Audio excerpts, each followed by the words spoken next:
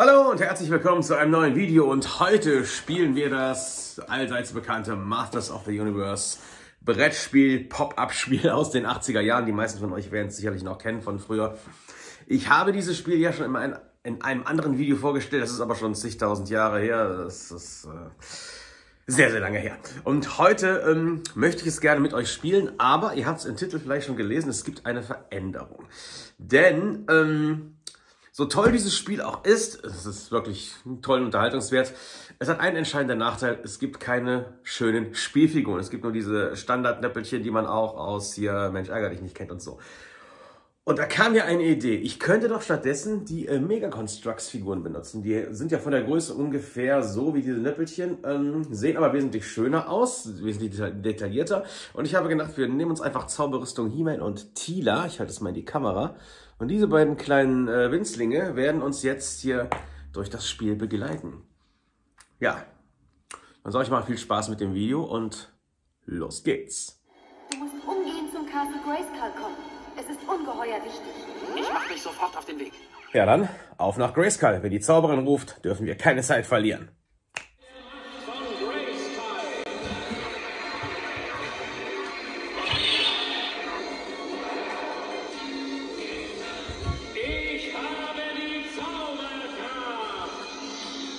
So, nun bin ich bereit, das Spiel zu beginnen. Das Einzige, was jetzt noch schief gehen kann, ist, dass diese beiden kleinen Figuren nicht stehen, sondern umkippen. Man kennt's. Auf jeden Fall viel Spaß bei unserer Mission, Grayskull zu erreichen. So, bevor es losgeht, zeige ich euch nochmal die Verpackung des Spiels. Wie gesagt, die meisten von euch werden es noch von früher kennen. Für diejenigen, die es nicht kennen, erkläre ich es gleich mal kurz. So, das ist übrigens die Rückseite.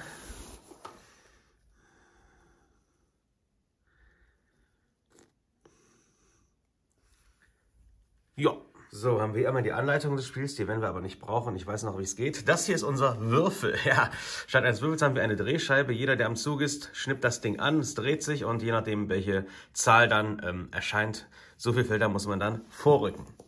So, wie gesagt, He-Man und Tila werde ich versuchen als Spielfiguren zu benutzen. Ich hoffe, das wird funktionieren. Ähm, wenn nicht, naja, egal. Wir, Hauptsache, es geht hier um den Spaß. So, und das hier ist unser Spielbrett. Wir klappen es auf und eine dreidimensionale Welt erscheint. Ist das nicht? Ja, man muss sagen, damals für die 80er Jahre ist das schon richtig gut gemacht, oder? Guck mal. Das erinnert so ein bisschen an das Leiterspiel. Man zieht halt vor, je nachdem entsprechend seiner Würfelzahl. Und es gibt natürlich auch Anweisungen auf dem Spielbrett zum Beispiel hier steht jetzt Skeletor einmal vorwärts. Was das bedeutet, erkläre ich euch jetzt gleich. Aber schauen wir noch, uns noch mal ein bisschen dieses Spielbrett an. Lassen wir es noch ein bisschen auf uns wirken, wie toll das hier aussieht. Guckt mal. Ich weiß nicht, ob das hier so sein soll. Also sieht ein bisschen anders aus, aber auf jeden Fall cool gemacht. Hier ist das Ziel, das Tor von Castle Grayskull. Nur mit einer genauen Würfelzahl können wir unser Ziel erreichen. Und hier sind die beiden Vulkane, die zu unserem Hindernis wählen. Hier haben wir einmal Beastman, der nicht richtig stehen will. Und hier haben wir einmal Skeletor, der auch nicht richtig stehen will. Diese beiden, Skeletor und Beastman, bewachen jeweils einen Vulkan. Wenn wir eine 6 würfeln oder die entsprechende Anweisung kriegen, zum Beispiel hier Skeletor nach rechts, müssen wir den Vulkan drehen. Und dann, hier sieht man schon, öffnet sich ein Krater. Und wer in diesen Krater fällt, ja, der muss um die entsprechende Anzahl der Würfel wieder zurückgehen. Es ist also ein Wettbewerb zwischen He-Man und Tila, wer jetzt als erster das Ziel erreicht. Natürlich, wenn man Lust hat, kann man das Ganze auch noch schwieriger machen. Man kann jetzt sagen, wer in den äh, Krater fällt, der hat verloren, das Spiel ist zu Ende. Steht zwar nicht so in den Regeln, aber hey, man kann ja die Regeln, man kann ja mit den Regeln machen, was man will eigentlich, weil man hat das Spiel schließlich gekauft und bezahlt. So. Ja, dann werde ich jetzt mal mich in Position begeben und äh, Mal gucken, was das jetzt hier wird. Ach ja, eine Sache noch, bevor es losgeht. Ähm, wenn man auf einem Spielfeld landet, auf dem bereits ein anderer Spieler steht, dann äh, wird er jetzt nicht rausgeschmissen oder so, sondern der wird einfach dann um ein Feld zurückversetzt. Sollte er dann in einen Vulkankrater fallen, ja, Pech gehabt. So. Ich habe es tatsächlich geschafft, He-Man und Tila dazu zu bringen, dass sie zumindest für einen Moment stehen. Und ich finde, die äh, Mega Constructs Figuren, ja, die passen wirklich gut zu dem Spielfeld. Also war eine witzige Idee, die ich da hatte, muss ich schon sagen. Aber muss man sich auch mal selbst loben. Ne? So, dann würde ich sagen, Ladies first. Wir fangen mit Tila an und los geht's. Das ist, ist das noch eine 4 oder ist das eine 6? Es ist noch eine 4. Okay. Tila, bitte rücke vier Felder vor. Eins, zwei, drei. Hier muss sie jetzt hin. So, dann ist jetzt He-Man an der Reihe. Eine Eins. He-Man, bitte rücke ein Feld vor. Und bitte nicht hinfallen. So, Tila ist dran. Das ist eine 2.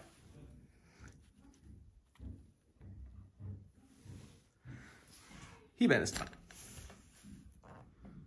Wieder eine 1. Also sieht gerade nicht so cool aus für He-Man. So, und ich bin gerade gegen Tila gestoßen, die daraufhin direkt umgefallen ist.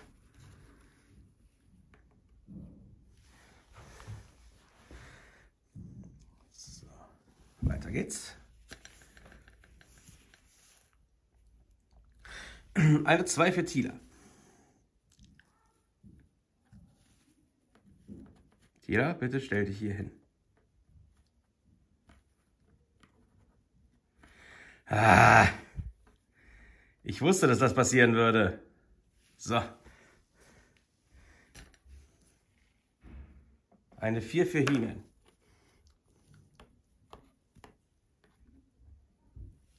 Tila ist schon wieder umgefallen. Was habe ich da wieder für eine tolle Idee gehabt, ey. So. Weiter geht's. Eine 6. Eine 6 für He-Man. Das heißt, wir müssen gleich den äh, nächsten Vulkan drehen. 1, 2, 3, 4, 5, 6. So, jetzt drehen wir den Vulkan um ein Feld. Und ihr seht, der Krater verschiebt sich. Hier das gleiche. Um ein Feld. Und der Krater verschiebt sich.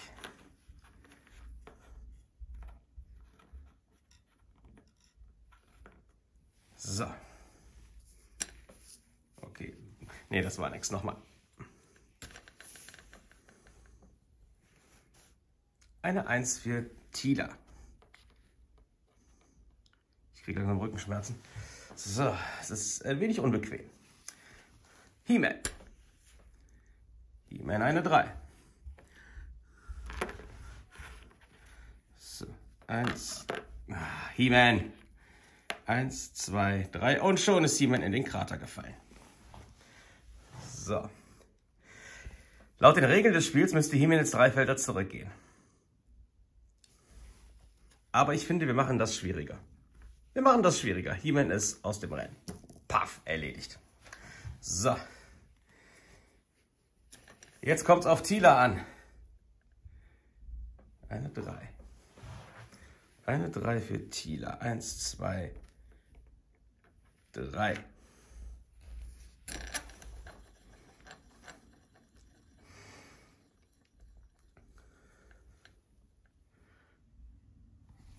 Eine zwei.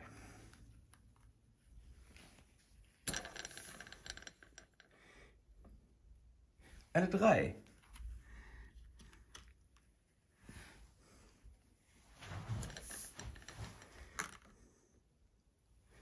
Nochmal eine drei. Tila hat fast den ersten Vulkan überstanden. Eine Eins. Und sie fällt gleich um, die gute. Ja, komm, legen wir sie hin.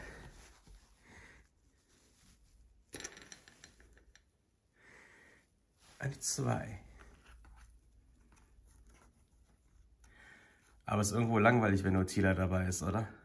Ich glaube, eine eigene Regeländerung, die gefällt mir jetzt doch nicht mehr. Wir lassen He-Man wieder mitmachen. Aber zur Strafe muss er wieder von vorne anfangen. So. He-Man, zweite Chance für dich.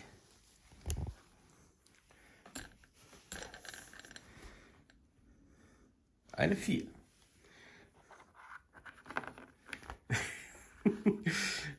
Eins, zwei, drei, vier.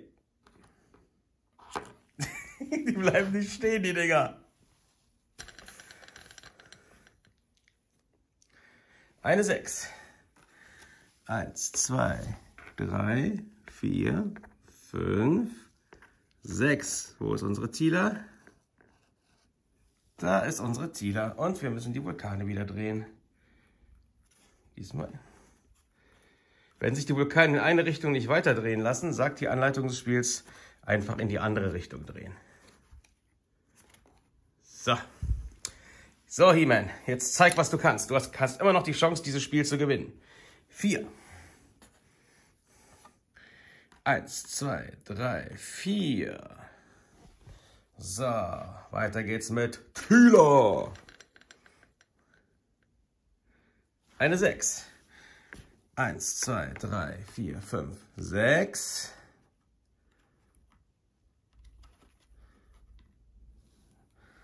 Der, jetzt müssen wir den Krater wieder drehen.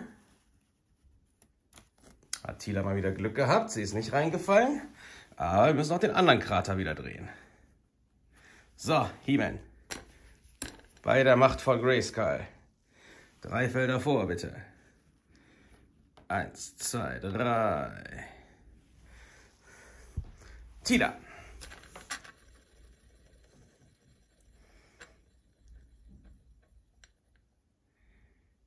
Fünf. Eins, zwei, drei, vier, fünf. Ja. Die fällt Kopf über in den Vulkan. Ich würde sagen, die hat sich gerade das Gesicht verbrannt.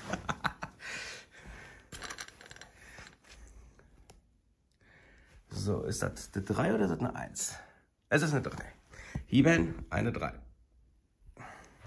Das heißt, He-Man steht jetzt hier am Kraterrand. Da, wo er schon einmal versagt hat. So, das ist eine 3 für Tila. 1, 2, 3. So, Tila hat beide Vulkane überstanden. Jetzt mit der richtigen Würfelzahl kann sie schon fast das Tor von Grayskull erreichen. Ja, He-Man, muss sich ein bisschen anstrengen, ne?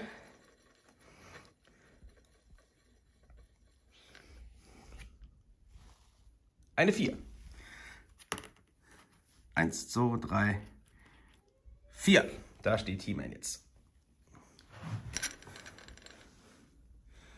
Für Tila eine 1. Müßig mit einer 1 voran. Und sie fällt schon wieder um, die Gute. Jetzt bleibt doch mal stehen. So. Also grundsätzlich finde ich ja, dass das eine lustige Idee ist mit den äh, äh, Mega Constructions Figuren. Die bleiben halt noch nicht so gerne stehen. Aber sieht auf jeden Fall besser aus als diese Mensch ärger dich nicht Hinterbildchen. So, das ist eine 3. Eine 3 für He-Man. 1, 2, 3. So. Komm, Tila. Hol dir die Macht von Grayskull mit einer 1. So. Hier steht jetzt Anweisung Beastman ein... Ich weiß nicht, ob ihr es lesen könnt. Hier steht Beastman einmal drehen und zwar vorwärts. Also den Beastman-Vulkan einmal vorwärts drehen. Geht aber nicht, da er schon äh, diese Stellung erreicht hat. In dem Fall heißt es einmal zurück. Steht so in der Anleitung. Wenn sich der Vulkan in eine Richtung nicht drehen lässt, dann muss der Krater halt in die andere Richtung gedreht werden. So. He-Man, zeig, was du kannst. Zeig's uns. Eine 5. Ja, eine 5 für He-Man. 2, 3, 4, 5. Und was steht hier? Fünf Felder zurück. Also wieder zurück an die gleiche Stelle. So. Ich weiß nicht, ob ihr das jetzt sehen konntet. Hier dieses Feld. Fünf Felder zurück. Da ist jemand drauf gelandet. Also musste er wieder zurückgehen. So, für Thiele haben wir eine 2 im Angebot.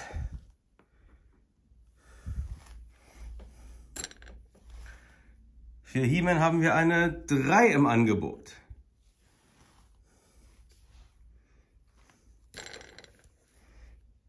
Eine 1. Tila hat es heute mit der 1, ne? So, und weiter geht's. Komm schon. Eine 3.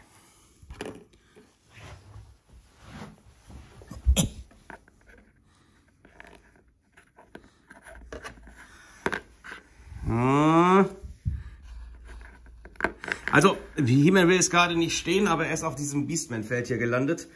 Das heißt, der Beastman-Vulkan muss wieder gedreht werden. So. Tila, komm. Gewinn mal eben das Spiel jetzt hier. Mit einer 3. Eins, zwei, drei. So. Wenn Tila jetzt eine 3 das nächste Mal würfelt, hat sie das Spiel gewonnen. Würfelt sie eine 4, Pech gehabt, dann muss sie stehen bleiben, weil nur mit der genauen Würfelzahl kann man das Spiel gewinnen. So, Hiven, du bist dran. Eine 3. Also genau das, was Tila jetzt brauchen könnte.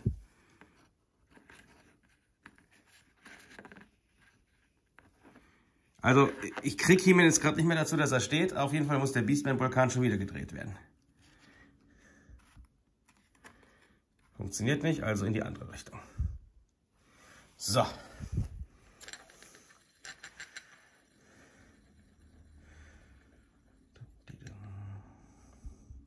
Eine 2, Herr Tieler.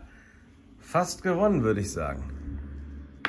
Ja, nee, nee, nee, nee, nee, nicht cheaten, Tila. Jetzt nicht der Kopf über in das Tor reinfallen. So gewinnt man dieses Spiel nicht. So, es reicht, ich leg dich jetzt hier hin. So, also Tila macht jetzt ein Nickerchen vor dem Tor von Grayskull. Wenn sie eine 1 würfelt, hat sie es geschafft. So. Eine 6. He-Man, komm. 1, 2, 3, 4, 5, 6.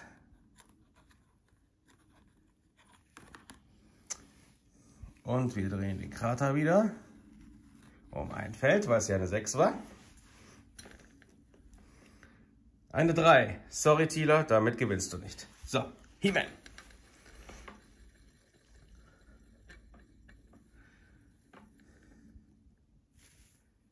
Was ist das? Eine 4. 1, 2, 3, 4. So. Wenn sich der Vulkan jetzt dreht, dann äh, würde He-Man, hätte He-Man ein Problem. Aber das kann jetzt eigentlich gar nicht mehr passieren. Eine 4, sorry Tila, damit gewinnst du nicht. He-Man, komm.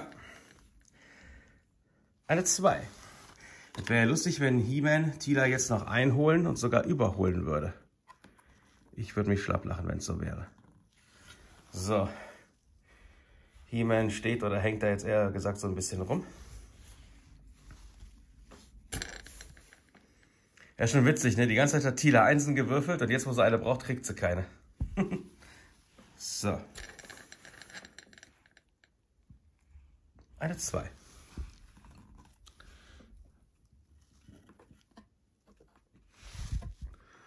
So.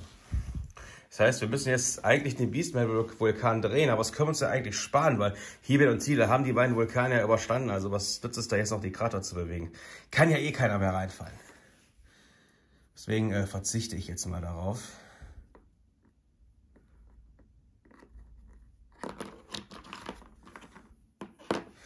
Äh, ich finde meine Idee ja so klasse, ne? aber die wollen einfach nicht stehen. So. Also, Tila, bitte eine Eins würfeln, um zu gewinnen. Jawohl! Tila hat gewonnen! Natürlich macht das Spiel wesentlich mehr Spaß, wenn man es mit mehreren spielt. Ich habe es jetzt alleine gespielt. Vielleicht hat, habt ihr euch deswegen ein bisschen gelangweilt. Ich hoffe nicht. Ich hoffe, das Video hat euch trotzdem gefallen. Ihr habt euch trotzdem ein bisschen unterhalten gefühlt. Wenn ja, Deutsch nach oben wäre cool. Den Kanal abonnieren, falls noch nicht geschehen. Wir sehen uns beim nächsten Video wieder. Macht's gut. Tschüss, euer Rico Stardust.